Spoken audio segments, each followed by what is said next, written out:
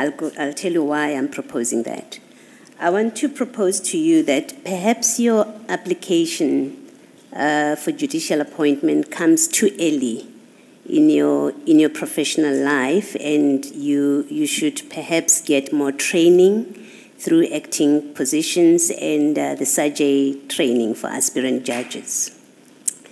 And then I would ask for your comment when I, I'm done telling you why I say that. I propose that. Looking at your judgments, there are, there are very serious problems of form and substance about, about the judgments that you've given us. Um, and, and one has to, because these are the judgments that you have put forward, one has to accept that these, you consider these to be your best judgments. Otherwise, you wouldn't have put them up. That's the basis on which you put them up.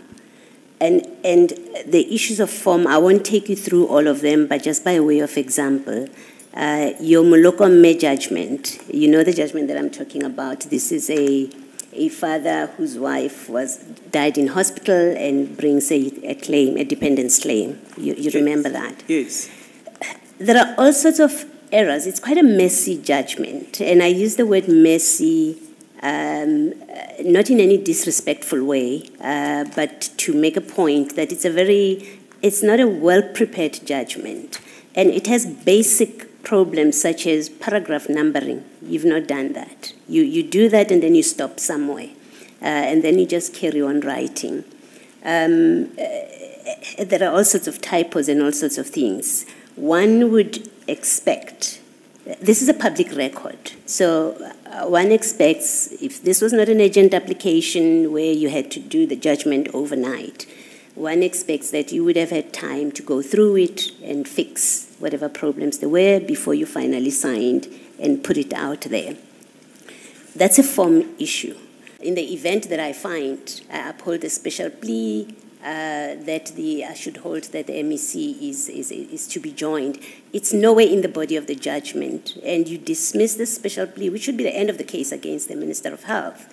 Uh, at least this action that is before you should be the end of it. But you say you're ordering a joinder uh, of, of the MEC of Health. Where that comes from is not apparent from the judgment. And I can only put all of this, these, uh, and many errors here to training and experience. Um, it's not necessarily an indication, I wouldn't like to think it's an indication of incompetence, but I think training and something that you can benefit from with training and further exposure through acting appointments. And so maybe this application is premature. What is your comment to that? Um, Commissioner, if I might start with the, um, with the last judgment that you referred to. Um, it was indeed it was a matter wherein a special plea was raised to say a wrong defendant had been cited. Now, my take was at the end of the day, when one has to meet up with, with justice, this was, was a claim wherein um, if, if my memory serves me well, it was a claim in regards to a minor child. I just don't have the facts.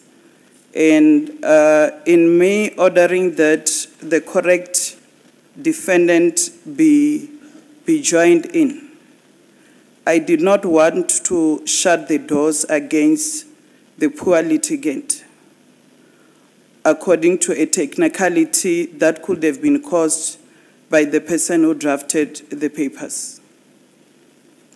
And uh, in regards to the first matter that you referred to, I should be honest to say that the matter was a bit complex. You would note that it, it was a medical negligent matter. I had to take my time to research, familiarize myself with the medical terms after having had evidence and to consider the expert evidence, I mean, the expert opinion that was brought before me. With, with the issue of numbering, I, I just want to believe that that could have been an error on my part or on the secretary that assisted me in, in um, typing out the judgment that I should have checked and made sure that the numbering is correct. Yes. But I would want to say that um, I am ready for this position and No, just a quick follow-up. uh, Commissioner Baloyi says you were, these judgments that you have put here, they were not put by anyone else but yourself. And you regarded these judgments in a way as your best judgments that you can put forward. Then when mistakes are shown in those judgments, you say, no, those are old judgments. I've since improved. Why didn't you bring the improved judgments uh, instead of bringing the mess that has been presented before you? Because if you say those are old judgments, meaning they are new judgments which have extremely improved and you have not brought them to attention, how do we confirm that indeed you have improved from all those mistakes which were pointed at you? Um, Commissioner, if you can ever look at the judgments that I attached, I tried to spot out different kinds of, of matters.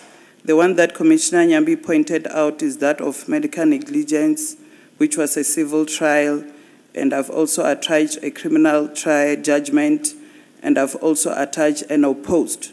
So I was trying to show to the Commission the different kind of judgments that I've written, regardless of maybe the flaws of, of that, that have been shown to me, which I acknowledge. However, I, I can state with, with, with certainty that I've actually improved, and my reason of attaching these judgments was to reflect on the differ- different kind of judgments that I've written. Follow up, Thanks, CJ. Tshisi. Follow up, CJ.